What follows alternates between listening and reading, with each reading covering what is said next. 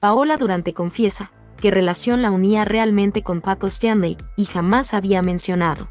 En declaraciones al programa Sale el Sol, la exedecán del famoso presentador de televisión cuenta que la unió al papá de Paul Stanley. Paola Durante reconoce que cuando ocurrió la muerte de Paco Stanley, ella salía con el sobrino del conductor de Pácatelas, y al suscitarse los problemas en que se vio involucrada, él le dio la espalda por completo. Ana María Alvarado cuestiona a Paola durante si entre ella y Paco Stanley existió algún tipo de relación que no fuera amistad y le responde que no. Entonces le confiesa que lo único que la unía a Paco era que estaba en un romance con su sobrino.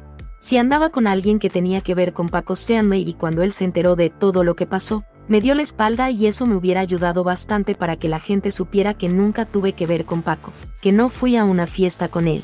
Paola Durante menciona en la misma entrevista que le contó a su abogado de dicha relación con el sobrino de Paco Stanley, y le dijo que no era útil dicho ato para su caso, cuando estuvo acusada de ser cómplice del caso del papá de Paul Stanley.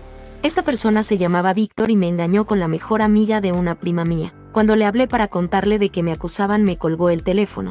El próximo 7 de junio se cumplirán 25 años del caso de Paco Stanley, el cual no ha sido aclarado por las autoridades al día de hoy, y su nombre está vigente a través de los años, pues no se olvida su lamentable caso. ¿Y tú qué opinas?